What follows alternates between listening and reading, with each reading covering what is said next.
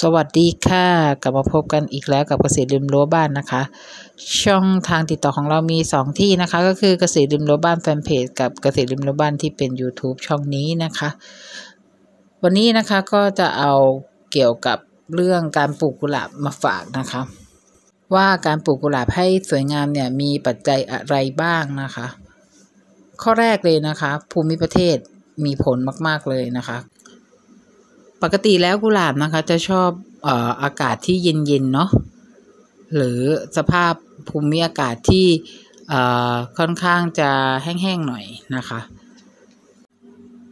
ถ้าอากาศดีภูมิประเทศประเทศดีก็มีใช้ไปครึ่งหนึ่งแล้วนะคะ ต่อมาก็คือการดูแลนะคะ เรื่องการกำจัดพวกสิ่งที่ทำให้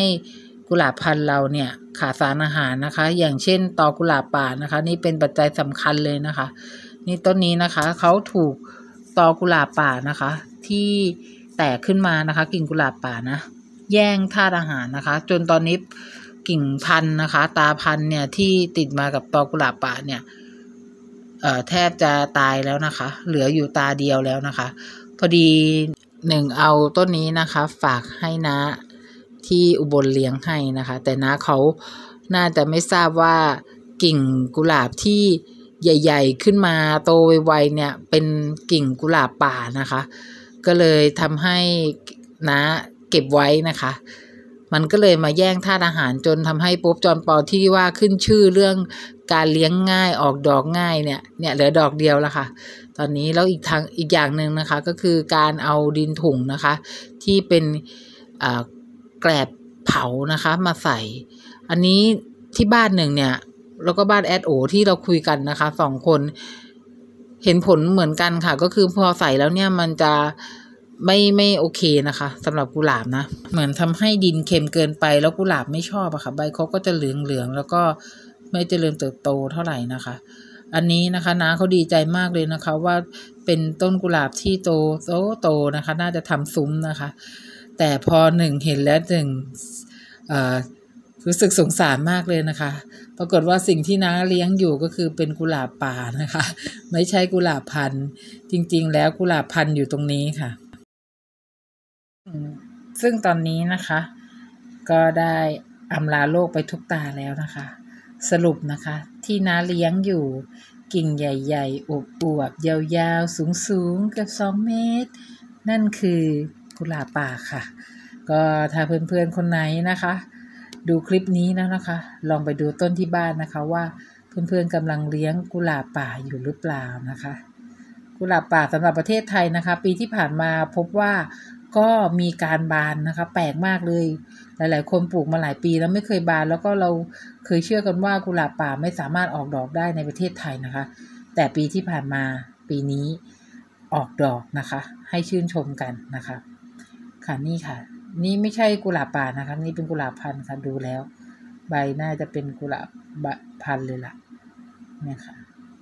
ก็ง่ายๆหลักการที่เคยบอกไปนะคะ เวลาเวลาดูกุหลาบป่า หรือเป็นกุหลาบป่าหรือกุหลาบพันธุ์เนี่ย ดูได้จากใบที่มันเคยกิ่งที่มันเคยออกดอกนะคะ เทียบกับใบของกิ่งที่มันขึ้นมาใหม่นะคะ ถ้าเกิดเป็นใบแบบเดียวกันก็เป็นกุหลาบพันธุ์ค่ะ แต่ถ้าเกิดว่าเป็นกุหลาบป่าเนี่ยส่วนใหญ่แล้วเขาจะขึ้นอยู่ตรงโคนต้นนะคะ ใต้ของกระโหลกกุหลาบนะคะ ที่เราใช้ติดตากุหลาบพันธุ์นะคะ หรือถ้าเกิดว่าแตกขึ้นตรงกระโหลกอีกทีนึง เราก็จะต้องเทียบใบกันนะคะ อย่างที่เคยบอก นี่นะคะก็เอากุหลาบที่บ้านของน้านะคะ มาฝากนะคะ เป็นกุหลาบที่หนึ่งเอามาให้น้าปลูกนะคะน้าปลูกด้วยวิธีการลงดินนะคะ ก็ไม่ค่อยได้ดูแลอะไรเท่าไหร่นะคะ ฉีดยาฆ่ามาแมลงอะไรก็ไม่มีเลยนะคะ ดูสภาพนะคะ ก็ถือว่าต้นใหญ่อลังการดีนะคะ สูงเกือบสามเมตรเลยนะคะ บางต้นบางสายพันธุ์นะคะ อย่างเช่นบีชอปนะคะ แล้วก็น่าจะเป็นมอชมพูประเสริฐด้วยนะคะนี่นะคะ ทิ้งจนแบบเกิดเป็นลูกกุหลาบเลยนะคะ เนี่ยแหละค่ะเป็นแบบนี้แหละค่ะที่ต่างประเทศเขาบีดกันนะคะ ก็คือเอาผสมเกสรจนให้เกิดเป็นลูกกุหลาบ แล้วก็เอาเมล็ดกุหลาบที่ได้เนี่ยมาเพาะพันธุ์นะคะ ให้เกิดเป็นสายพันธุ์ต่างๆนะคะ ใครอยากจะลองผสมพันธุ์กุหลาบเป็นแบบของตัวเองก็ลองดูได้นะคะ เอาเอ่อเกสรกุหลาบมาผสมพันธุ์กันนะคะ แล้วก็เอาเมล็ดที่ได้มาปลูกดูนะคะ ถ้าขึ้นก็ได้สายพันธุ์อาจจะได้สายพันธุ์ใหม่ก็ได้นะคะ ค่ะ อันนี้นะคะ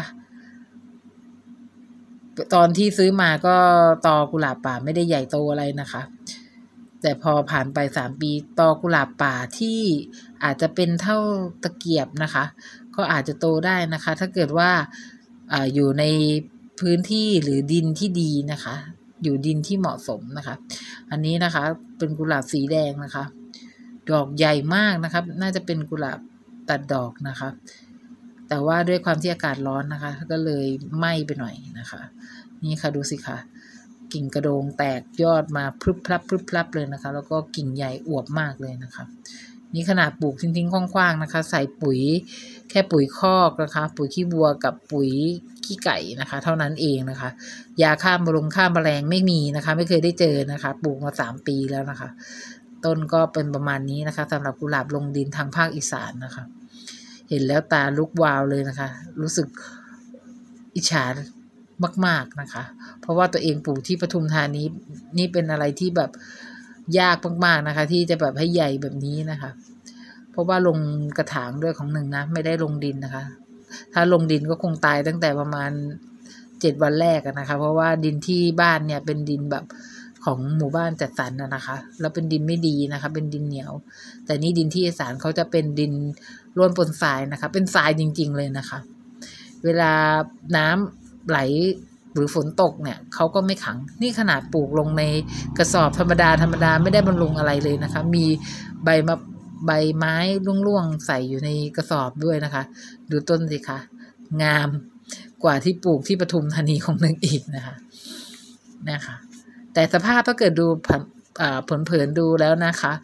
เหมือนเขาก็เจอผ่านร้อนผ่อนผ่านฝนผ่านมแมลงศัตรูพืชมาก็เยอะเหมือนกันนะคะ แต่ว่าด้วยความที่ว่าเขาอยู่ในสภาพแวดล้อมที่เหมาะกับเขาเนี่ยเขาก็สามารถปรับตัวแล้วก็แข็งแรงได้เองโดยที่ว่าไม่ต้องพึ่งยาเคมีอะไรเลยนะคะ แล้วก็อยู่ในดินที่เหมาะสมที่เขาชอบนะคะ ระบายน้ำดีเขาก็เจริญเติบโตได้ดีนะคะ แล้วก็ไม่ต้องใช้สารเคมีอะไรเลยนะคะ มากำจัดมลงแมลงหรือศัตรูพืชของเขานะคะ ดอกนะคะ แม้จะแบบแห้งคาต้นจนออกเป็นลูกนะคะ ก็ไม่ได้แบบ ก่อให้เกิดไดแบ็กอะไรใดๆเลยนะคะ หรือแม้แต่มีพืชคลุมดินมาแย่งอาหารก็ยังคงเจริญเติบโตได้ออกดอกได้นะคะ ต้นสูงเกือบสามเมตรนะคะ แล้วก็กิ่งอวบอวมนะคะ ใหญ่กว่าดินสอนะคะเนี่ยค่ะแล้วก็ดอกใหญ่นะคะ เกินถ้วยเลยนะคะ แล้วก็อันนี้เป็นบิชอปนะคะ ก็ยังคงออกดอกสม่ำเสมออยู่นะคะ อันนี้ไม่รู้ชื่อนะคะ ไม่แน่ใจว่าเป็นพันธุ์อะไรนะคะ อันนี้ กลิ่นหอมอ่อนๆค่ะไม่แรงนะคะ ไม่น่าจะใช่มอนไก่กังวลนะไม่น่าจะใช่ค่ะเนี่ยค่ะ เป็นดงกุหลาบที่เลี้ยงประมาณสามปีนะคะ สำหรับวันนี้นะคะเขาขอจบแต่เพียงเท่านี้นะคะ ฝากกดไลค์ กดแชร์ กดติดตามไว้ด้วยนะคะ จะได้ไม่พลาดเวลาหนึ่งลงคลิปใหม่ๆนะคะ แล้วก็เป็นขวัญกำลังใจให้หนึ่งด้วยนะคะอันนี้นะคะถ้าเกิดว่าใครมีคำถามก็สามารถส่งได้ 2 ช่องทางนะคะ คือคือที่ช่องเพจช่องเกษตรริมรั้วบ้าน แล้วก็เพจเกษตรริมรั้วบ้านนะคะ ถ้าหนึ่งมีเวลาจะรีบมาตอบให้นะ ขอบคุณค่ะ สวัสดีค่ะ